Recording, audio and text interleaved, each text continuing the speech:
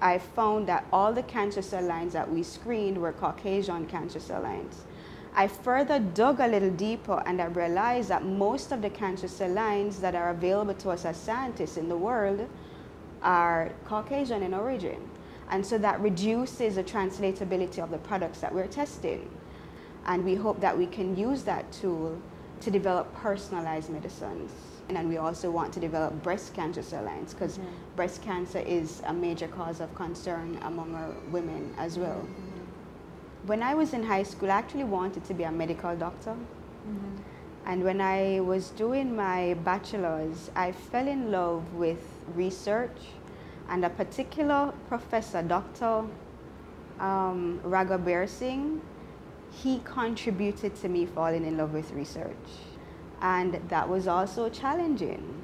And even though I experienced numerous challenges doing that, I recognized that I loved it. I am passionate about research. And because I'm passionate about it, it doesn't matter what comes my way.